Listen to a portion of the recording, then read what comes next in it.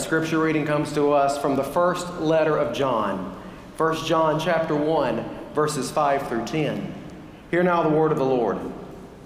This is the message we have heard from him and proclaimed to you that God is light and in him there is no darkness at all. If we say that we have fellowship with him while we are walking in darkness, we lie and do not do what is true. But if we walk in the light as he himself is in the light, we have fellowship with one another, and the blood of Jesus, son, cleanses us from all sin. If we say that we have no sin, we deceive ourselves, and the truth is not in us. If we confess our sins, he who is faithful and just will forgive us our sins and cleanse us from all unrighteousness.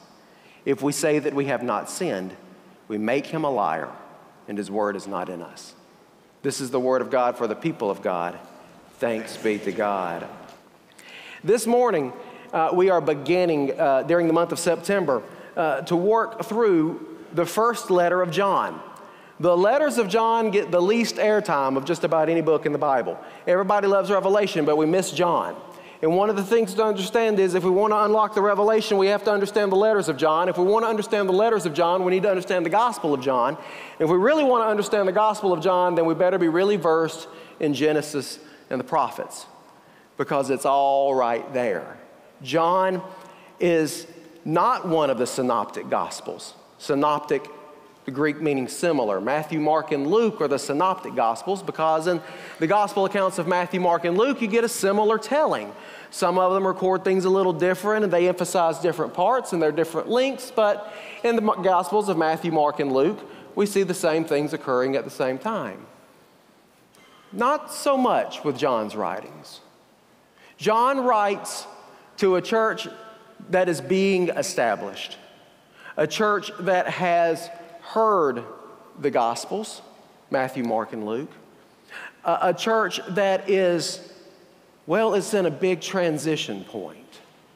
By the time John is writing these epistles, what's happening is the first generation of apostles, those apostles like John and Matthew and Luke and Peter and James and Paul, they're beginning to transition. They're beginning to transition because they're being killed or they're dying. I guess that's the same thing, but one's a little bit more pointed than the other one. And the second generation is beginning to come up, like Timothy, Titus, Junia, Priscilla, some of these other folks and as this transition is going on, sometimes when we look at history, we think of, okay, well, here's when this happened and this ended and then this other thing began. But that's not the way history works, is it? There's always periods of flux and transition. And that's what's happening. There are this, this, this giving and taking of, of what's going on because the church is still emerging, but it's a little bit more than what it was when it first started. Persecutions are in full swing. The church has the attention of all the political authorities. As John is writing this, he's going to mention about uh, uh, later on in, in his, uh, in what we have as his first letter, about a, a warning uh, to stand against false teaching. And we know this has got to be a big deal because in the book of Acts, it's uh, standing against false teaching is referenced. In Paul's letters of Romans, Colossians, Titus, and Timothy, there are references to, to be careful with false teaching. Second Peter addresses false teaching. And of course, First John does as well. Well, why is this important? Well, because if you just read verses 5 through 10, it doesn't, I mean, it's beautiful, but it kind of leaves you scratching your head. Because he starts off by saying, God is light and in him there is no darkness at all. And then by the end of it, in just five verses, he is then flipped to saying, Now, y'all remember, we're all sinful. If you say you don't have sin, you are a liar and you don't understand and you don't have fellowship with God and you don't have fellowship with each other. Because if, if, if God is light and you are walking in the light, then it's going to impact the way we live and think and relate to the world and to those around us. And that's the backdrop of what is happening.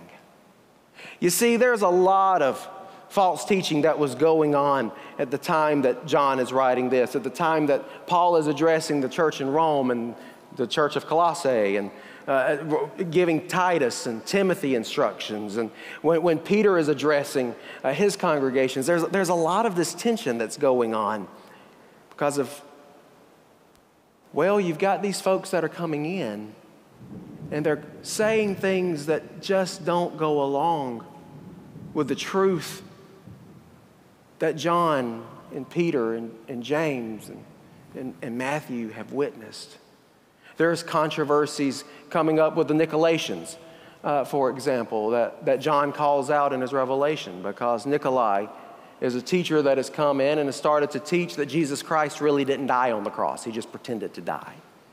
And that, that, that Jesus' death it, it was something that just made us take notice. That's not what the Gospels say, and that's not what the apostles first understood.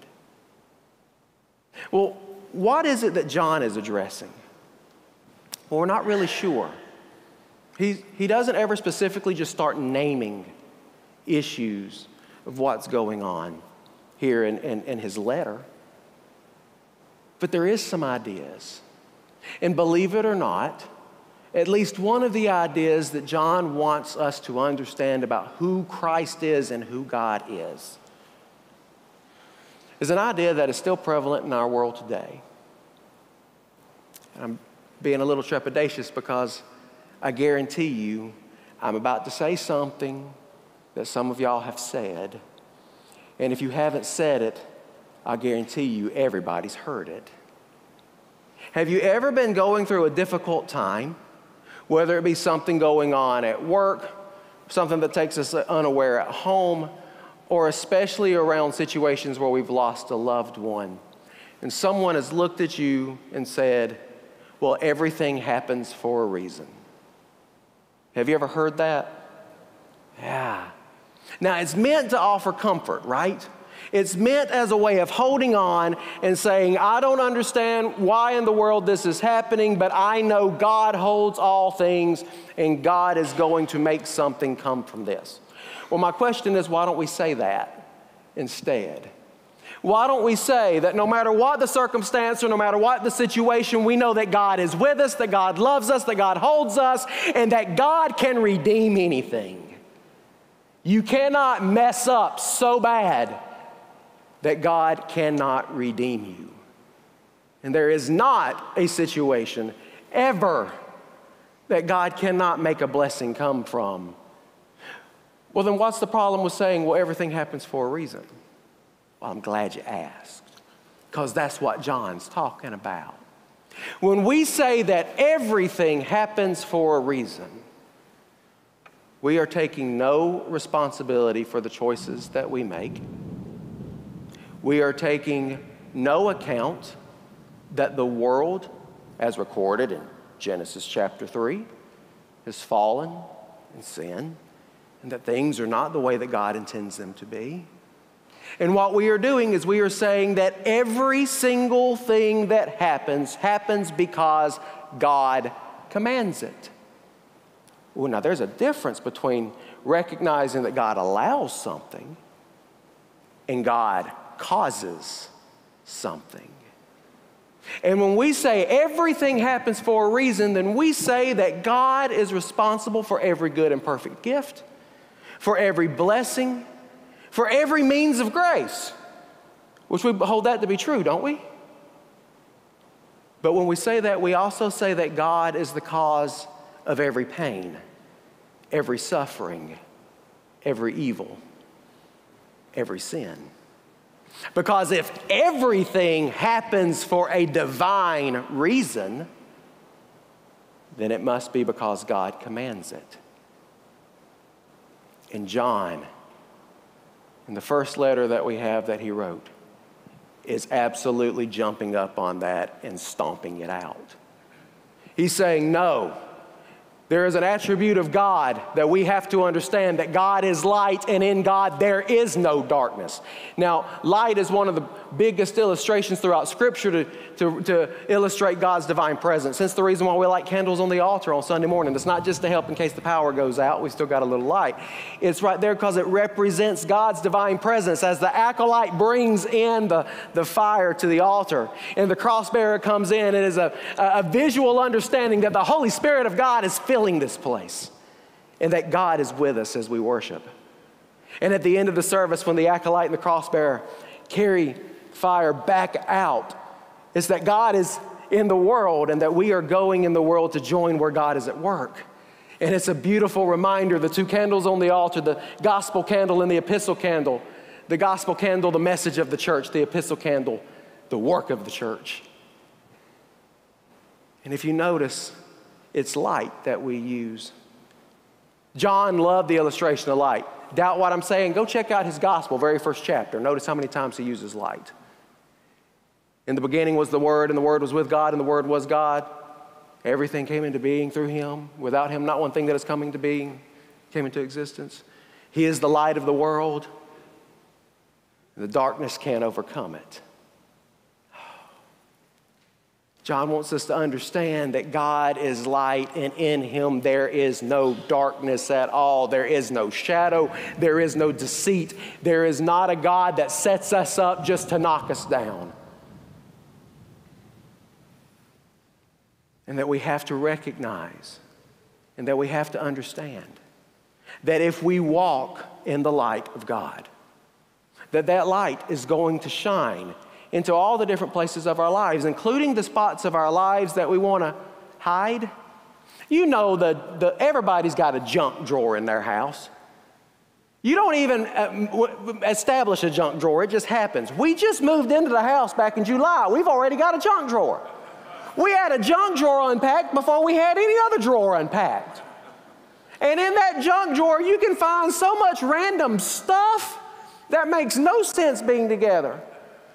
Everything from batteries to glue to scissors, zip ties, a, a, a couple of extra buttons, keys, keys to things that we don't own, keys that don't fit any lock at the house. But by God, we're keeping the keys because as soon as I throw one away, I'll discover what it is that it goes to. Well, the same thing's true in our lives. We've got junk drawers in our lives where we like to hide the stuff that we know shouldn't be there and we don't want anybody else to know about it. The mistakes that we made and the hurts that we cause, the issues that we've had. And we squirrel that away. And John says, uh uh-uh. uh. Because the light of God even reaches there. And you can't go around acting like we're holier than thou and better than anybody else. And we can't go around acting like anybody else's sin is any better or any worse than ours because all, all sin is equal before God. And everyone has sinned. And if you say that you don't, you are a liar. Calls it straight out. But if we confess our sin, then we have fellowship with God. And we have fellowship with, with each other. And the blood of Christ cleanses everything. You see, one of the things that's funny is that folks will say, well, in the world today, or in our nation today, or in our state today, no one wants to listen to the church. You're right, nobody wants to listen to the church. Because we like to act like we've got it all together instead of being what God intended us to be. We are not a museum for the saints. We are a triage unit for the hurting. We are where broken people come to find restoration and hope. We are where the unloved comes to learn they are loved. I've told Stanley, I don't know how many times, the way we're going to know how successful our children's ministry has been is not how many children go through confirmation and end up being in youth. It's how many children look at us that God has blessed us with from the cradle until that time in sixth grade.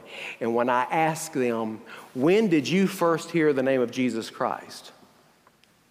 When they say, you know what, I don't know, I've always heard the name of Jesus Christ. And when I ask them, when did you first know that God loves you? And they say, I don't know. I've always heard that God loves me. I've told JT how we're going to know if we've had a successful youth ministry is not by how many youth show up on Wednesday nights or Sunday nights. It's by how many 19 and 25 and 35 year olds continue to grow in their faith and not abandon it the moment that they walk out of, out of, out of our, our doors. You see, how we're going to know if we're a successful congregation is not how many rear ends we have in the pews on Sunday morning or how big our budget can get. I know we're starting a capital campaign. Bad time to preach this sermon, but here it is. The way we're going to know if we are a successful congregation, how many folks who do not know Christ know Christ because of the work that we are called to do? How many people who are hungry are fed? How many people who are wayward are brought back into a life that not only brings honor and glory to God, but that is lived for, with their benefit as in God's blessings? How many brokenness, how much brokenness is restored? You see, that's the thing. When we, have, when we walk in the light and in the truth of who we are, we find fellowship one with another because no longer are we trying to hide all this stuff in the junk drawers of our lives, but rather we're sharing it. Because I guarantee you, someone else has been where you are. Somebody else knows what it's like to be broken. Somebody else knows what it's like to be praying over a wayward child. Somebody else knows what it's like for a relationship to fall apart. Somebody else knows what it's like to be going through a transition in life where what we used to could do, we can't quite do anymore. Somebody knows what it's like to have made that mistake and experienced that hurt, and somebody else is on the other side of it because of the grace of God.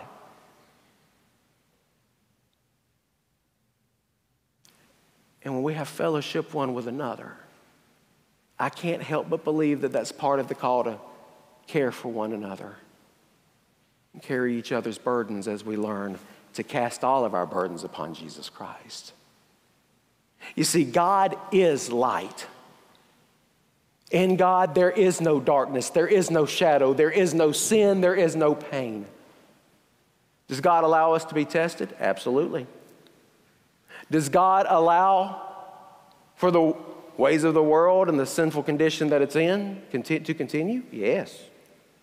We've got a divine promise that's not the way it's always going to be, though. We have a divine promise that the kingdom of God has broken in, but it's not in the fullness that it will be quite yet. Not like it will be when Christ returns.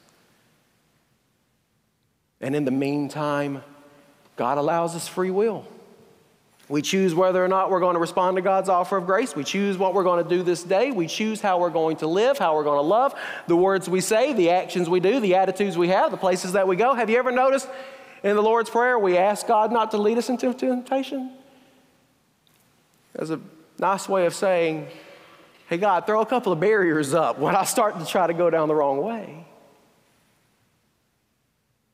Because I believe, like, Fred, like Frederick Buechner, that the true wrath of God is that God holds us in the palm of his hand, but that God will let us go if we so choose. Continuing to call out after us, to run after us, to want to hold us, to, to speak to us, to yearn for us preveniently.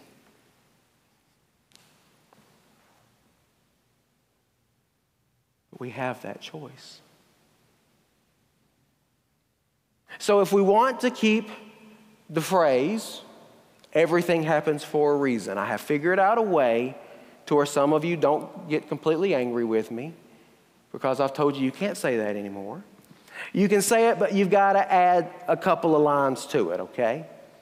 So we can say everything happens for the reason, for a reason. Sometimes that reason is a gift of grace from God.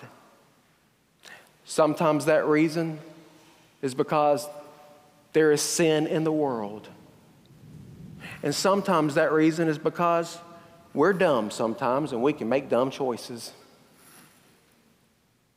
But no matter what the reason is, for whatever it is that has occurred, we have a God who seeks, who saves, who loves, who redeems. We have a God who makes all things new. We have a God who John teaches us the very first thing we need to understand about the God that we serve is we have a God who is light. And in him, there is no darkness. Thanks be to God. Amen. Hello, my name is Kevin Payne, and I'm the senior pastor here at Bluff Park United Methodist Church. Thank you for joining with us in our podcast of our worship celebration, the sermon this past week. I pray that you found it a blessing and that it enriched your life. If you are ever in our area and would like to join with us in person, we are located at 733 Valley Street here in Hoover, Alabama. Our service time is 10 a.m., and we would love to meet you. I pray you have a blessed week and hope to see you soon. Bye now.